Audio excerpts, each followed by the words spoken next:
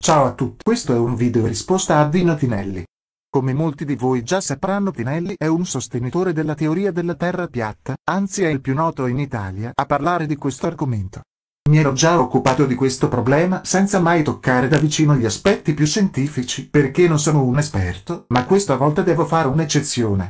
Chi come me è cresciuto con i Simpson ricorderà l'episodio dove Bart Simpson chiama in Australia per verificare che il water girasse per davvero nel senso opposto rispetto al suo.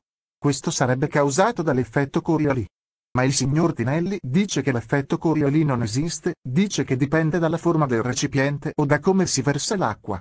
Effettivamente mi sono sorpreso quando ho scoperto che nei paesi che si trovano all'equatore quello che sembra un esperimento per dimostrare che l'acqua gira nei due versi nei due emisferi. È in realtà un gioco di prestigio per attirare i turisti. Quindi Tinelli per una volta non si è sbagliato completamente, infatti quella dello scarico dei lavandini è considerata una leggenda metropolitana.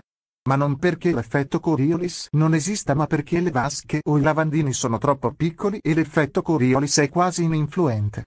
Affinché l'effetto si manifesti sempre la vasca dovrebbe essere rotonda, circolare e soprattutto molto molto molto più grande, non solo.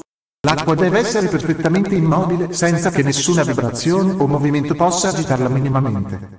Se non si rispettano queste condizioni l'esperimento può essere falsato. Quindi, caro signor Tinelli, non è che l'effetto Coriolis non esiste, esso è poco influente nei vortici degli scarichi di casa nostra. Al massimo Tinelli avrebbe mostrato che quella degli scarichi è una leggenda metropolitana, ma non che l'effetto Coriolis non esiste. Tendenzialmente gli scarichi dovrebbero girare nei due sensi nei rispettivi emisferi, ma è possibile che ciò non accada. Se avessi potuto vi avrei mostrato l'esperimento, ma non possiedo la strumentazione. Se voi invece potete, vi invito a farlo e di riferire i risultati al signor Tinelli. Per il momento è tutto, alla prossima!